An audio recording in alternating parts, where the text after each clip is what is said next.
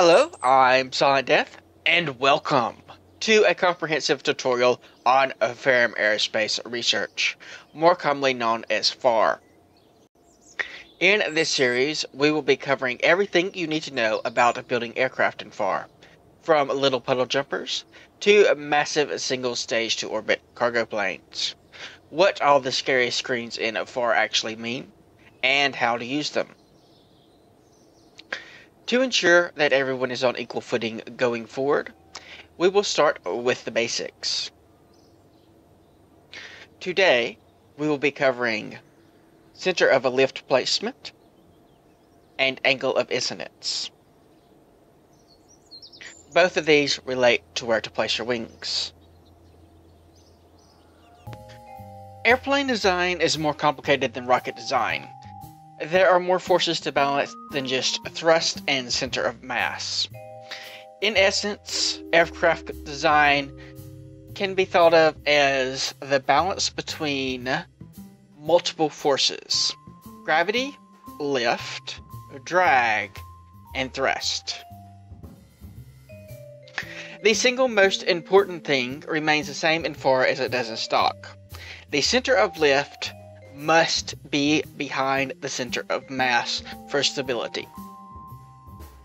Let's look at why by moving the center of lift in front of the center of mass. As we accelerate, our wings start generating lift, and that lift is applied in front of the center of mass, causing us to tilt upward. As we tilt upward, we uh, slow down, because we have increased the amount of drag we're producing.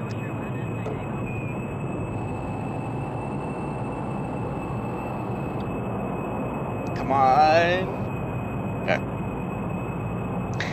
And as we slow down, our wings stop generating lift, and we plummet to the ground. Much like that.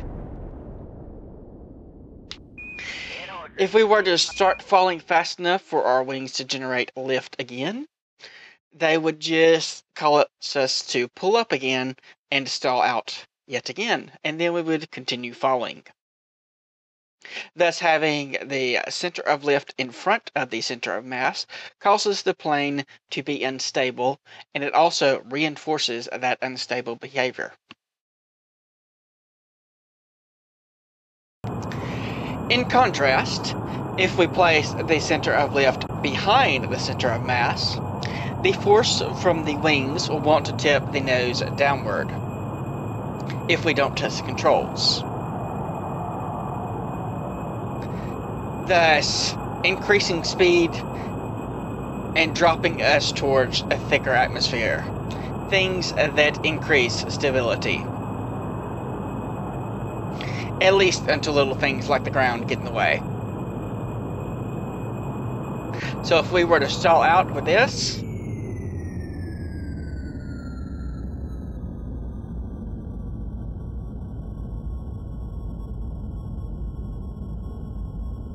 though it appears to be a little bit difficult to stall out.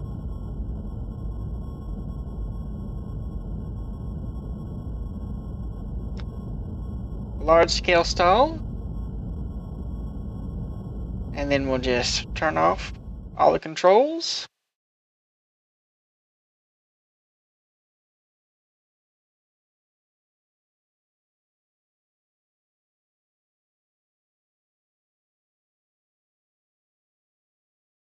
And it starts falling, picking up speed somewhat. It would help if we tried to control it a little bit by pointing prograde.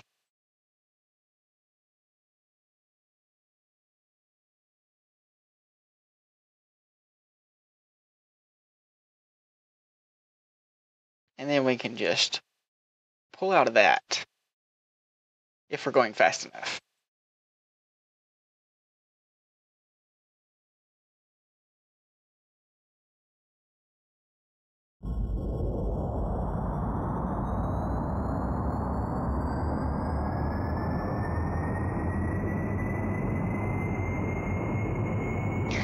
A much more stable design than having the center of lift in front of the center of mass. Saying the center of lift should be behind the center of mass leads to the inevitable question how far behind? The answer is somewhat complicated, and we will cover it in more detail when we discuss the stability derivatives. Now that we've discussed where to put the center of lift horizontally, let's talk about where to put it vertically. A center of lift above the center of mass will lead to a more stable design. Let's look at why. Having the center of mass below the center of lift creates a sort of a pendulum effect. You can imagine the center of mass like the weight on a pendulum, and the center of lift is like the string on a pendulum. The center of mass is pulling down towards the surface, while the center of lift is pulling up relative toward relative to the body of the plane. And what that does is cause the plane to want to fly level. Not touching the controls here. In fact, SAS is trying to keep it rolling over, but the plane just wants to go flat. This is frequently a desirable effect, almost always in Kerbal Space Program, because you want to be able to fly your plane nice and level without having to touch anything. Now let's look at what happens if we put the center of lift below the center of mass. If we try to turn with our wings tilted down, you'll see that we turn rather rapidly. However, we don't level out as easily.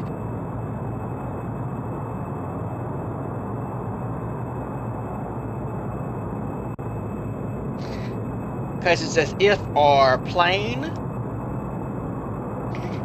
is balanced on a point.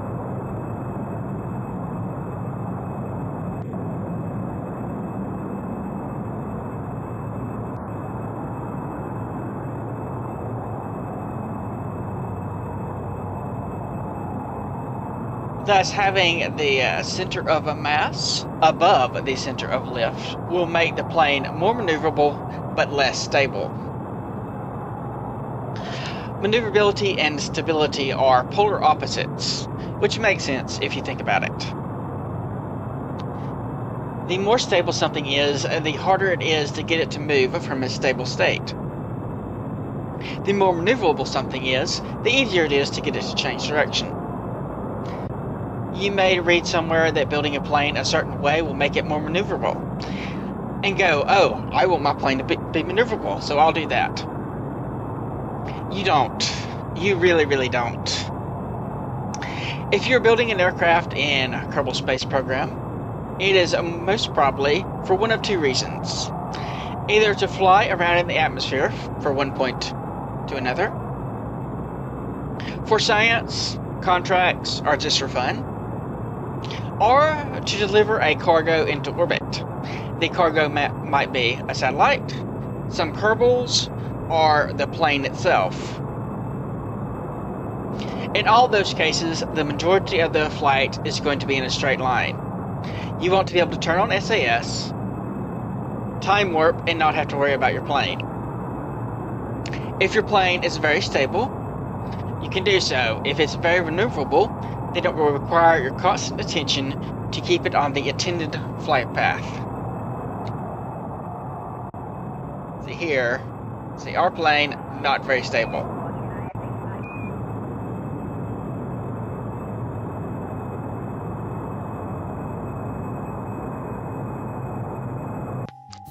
You can move your center of lift above the center of mass by one of two ways. One, you can tilt your wings upward, which will move the center of lift upward.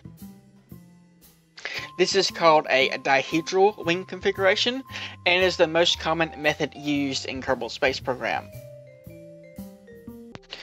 Alternatively, you can place your wings higher up on the fuselage.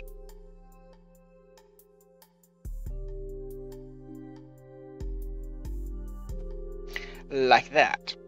This is more commonly used in heavier planes. Things designed to, for instance, lift a orange fuel tank into orbit. Or other Mark III designs.